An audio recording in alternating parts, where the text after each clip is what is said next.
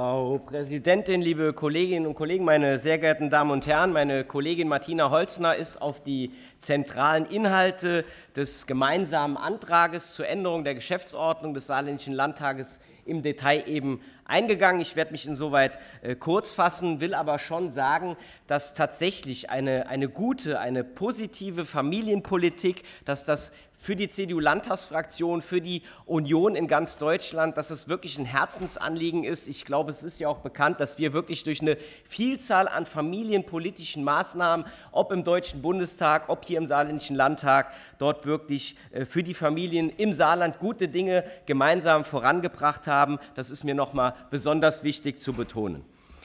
Immer mehr Familien, muss man ja Gott sei Dank sagen, auch hier bei uns, bei den Kolleginnen und Kollegen im Landtag, entscheiden sich ein Kind, zwei Kinder, im besten Fall sogar noch mehr Kinder zu bekommen. Und ähm, man muss schon sagen, dass gerade diese Familien einen unschätzbaren Wert, ähm, sozusagen herausragendes für die Zukunft unseres Landes leisten. Und deswegen ähm, ist das wirklich ein, ein wichtiger Beitrag zur Entwicklung, positiven Entwicklung äh, unseres Landes.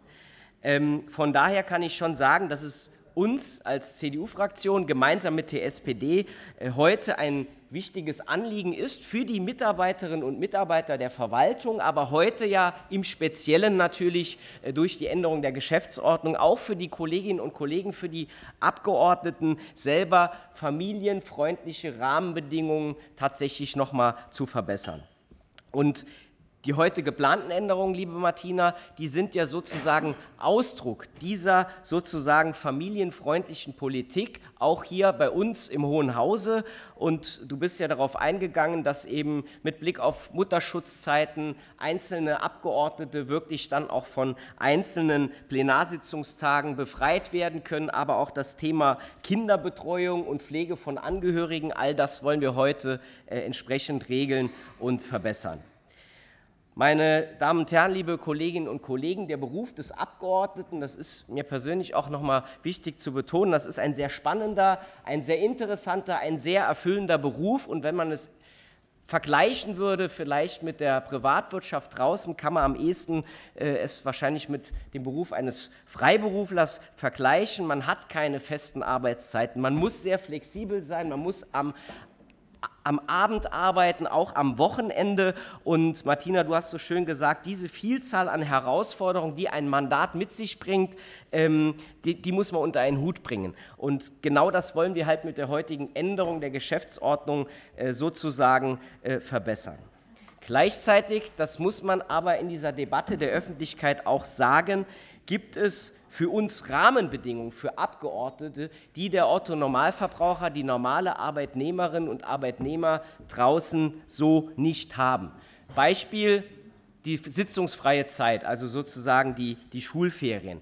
Da muss man schon sagen, dass der einzelne Abgeordnete, weil wir ja nicht in den festen Parlamentsbetrieb in dieser Zeit eingebunden sind, sehr flexibel ist und dort auch schon äh, die ein oder anderen Freiräume hat. Und deswegen war es Grundmaxime für uns als CDU-Fraktion auch schon klar zu sagen, wenn wir hier entsprechende Rahmenbedingungen auch für uns als Abgeordnete verbessern, dass wir keine Besserstellung sozusagen gegenüber den normalen Arbeitnehmerinnen und Arbeitnehmern haben dürfen. Aber Martina, du bist darauf eingegangen. Mit den geplanten Änderungen heute tragen wir genau dem Rechnung. Das ist wirklich ein ganz wichtiges Signal auch draußen, dass es dort sozusagen eine Gleichbehandlung gibt und keine Besserstellung von einzelnen Personen, in dem Fall von Abgeordneten. Und wie gesagt, dem tragen wir heute alle Rechnung.